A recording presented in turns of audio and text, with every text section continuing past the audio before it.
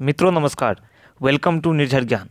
स्वास्थ्य चर्चा health discussion के अंतर्गत हम आगे हैं आपके पास एक अपडेट लेकर कोरोना वायरस के संबंध में कि अभी तक इसकी वस्तु स्थिति क्या है या कहाँ तक पहुँची है, इससे निजात के क्या उपाय हैं, किस तरह की सावधानियों को बरतना आवश्यक है बिकॉज़ इसकी अभी तक कोई दवा तो अवेलेबल हो नहीं पाई है, कोई वैक्सीन अवेलेबल हो नहीं पाई है, कुछ निश्चित लक्षणों के आधार पर ही इलाज किए जा रहे हैं।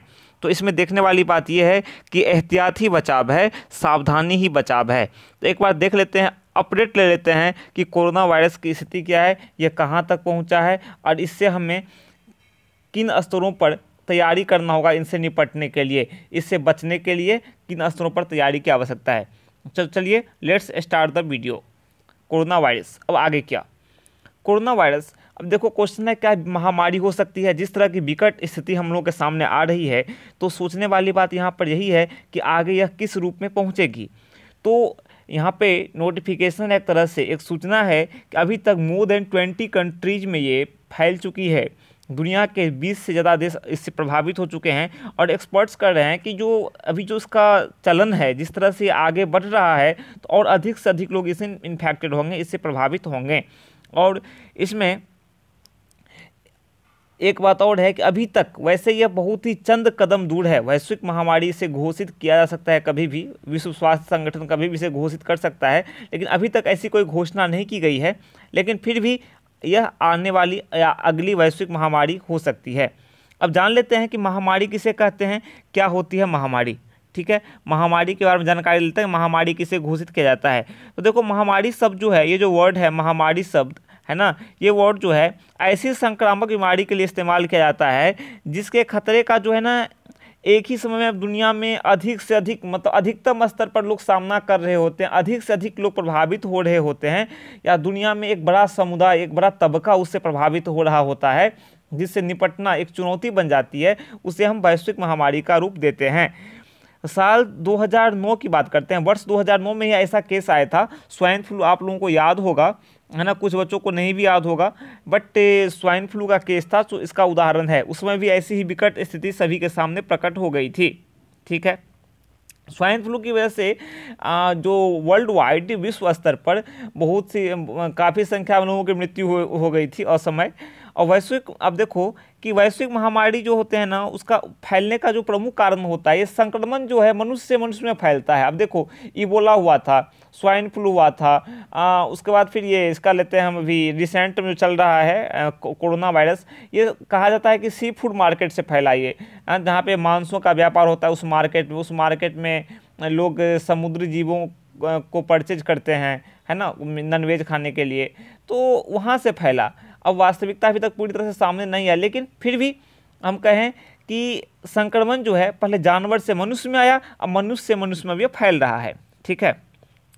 अब यहाँ पर देखो कि अभी तक मैंने पहले नोटिफाई किया है, अभी तक इसके इलाज का कोई भी वैक्सीन उपलब्ध नहीं है, कोई ट्रीटमेंट अवेलेबल नहीं है, बस कुछ निश्चित लक्षण है, सर्दी, जुकाम, खांसी, सर दर्द फेफड़े में संक्रमण हो जाता है, इन सब लक्षणों के आधार पर इलाज की जाती है डॉक्टर्स इलाज करते हैं। और खासकर जो मरीज़ किसी अन्य बीमारी से पीड़ित रहा होता है ना उसे और भी परेशानी होती है। और जिसकी प्रतिरोधक क्षमता मज़बूत होती है विशेषकर महिलाओं की बात करें, उसमें कुछ और ऐसे उनमें उनकी जो स्ट्रक्चर है, उनके, उनका जो बॉडी का जो है, कहने का तात्पर्य है, कुछ ऑर्गन्स हैं उनमें कि वे अपने आप को ज़्यादा प्रोटेक्टिव बनाती हैं। उनकी प्रतिरोधक क्षमता इम्यून सिस्टम जो है तेज होती है तो पुरुषों की अपेक्षा वो कब प्रभावित हो सकती हैं? इससे ऐसा वैज्ञानिक कहते हैं। वैज्ञानिकों जो, ने जो निष्कर्ष निकाला है। खैर अब देखो यहाँ महामारी की बात करते हैं, किन परिस्थितियों में ये घोषित की जाती हैं? तो कोरोना वायरस का संक्रमण जो है, ये महामारी का दर्जा हासिल करने काफ़ी करीब पहुँच गया है जिस तरह से स्थितियाँ सामने आ रही हैं।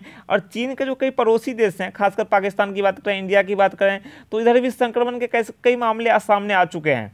और दूसरी बात कि कई कई देशों ने अपने मतलब चीन के नागरिकों के लिए अपने द्वार बंद कर दिए हैं कि टेम्प्रोरी तत्कालीन पाबंदी लगा दी है। ठीक है? तो ये सब प्रिकॉशनरी मेजर्स अपनाए गए हैं कई कंट्री द्वारा। ओके चलो, अब देखो इसके फैलाव के आसार देखते हैं, किस तरह ये फैलता है। ठीक है? अब जो कोरोना वायरस का खतरा जो है कितना गंभीर है, तस्वीर अभी तक स्पष्ट नहीं है बिकॉज़ अभी तक पूरे डिटेल सही से आए नहीं है। अभी लक्षण पता नहीं चल पा रहे कि किन परिस्थितियों में पूरी हल्की हल्की जानकारी आ रही है, पूरी जानकारी, एक क्लियर इन्फॉर्मेशन नहीं आ पा रही है। खैर, विश्व स्वास्थ्य संगठन के महानिदेशक का भी कहना है कि चीन के बाहर जो भी संक्रमण है, वो थोड़ा सीमित है लिमिटेड है but let's see what's happening आगे क्या हो रहा होगा अब। कोरोना वायरस के संक्रमण की बात करते हैं तो अभी तक ना सेवनटीन थाउज़ेंड है ना this is seventeen thousand. Seventeen thousand लोग जो हैं इसे इन्फेक्टेड प्रभावित हुए हैं और अभी तक टोटल थ्री सिक्सटी लोगों की मृत्यु हो गया जा और ज़्यादातर जो है ना मोस्ट ऑफ़ द केसेज जो हैं, वो चीन के हैं। चीन के लोग सबसे ज़्यादा प्रभावित हुए हैं बिकॉज़ चीन तो ओरिजिन ओरिजिन प्लेस है इसका, ठीक है? और चीन के बाहर जो हम कह सकते हैं कि चीन के बाहर जो कोरोना वायरस के मामले आए हैं ना, ये आए हैं आपके 150 150 150 मामले अभी तक सामने आए हैं, ठीक है? और फिलीपींस में ना एक व्यक्ति की मृत्यु भी हो चुकी है। तो अभी तक जो वस्तु स्थिति है, जो अपडेटेड इन्फॉर्मेशन है, जो सामने आ रही है वही है कि इस बीमारी का जो स्तर है, यहाँ तक पहुँचा है। और आगे भी तो जैसे चीन ने अपने, चीन ने अपने नागरिकों के लिए पाँच महज पाँच से छः दिनों में एक बहुत बड़ा विशाल बनाया है वो। जो ट्रीटमेंट जहाँ अवेलेबल होगा हॉस्पिटल बनाया है इन परिस्थितियों से निपटने के लिए। तो और भी देश अपने मेजर्स ले रहे हैं। हम पाकिस्तान ने भी अब मेजर्स लेने शुरू कर दिए इंडिया भी ले रहा है। इस थर्मल स्क्रीनिंग की व्यवस्था की गई है। एयरपोर्ट पे जो भी वहाँ से आ रहे हैं।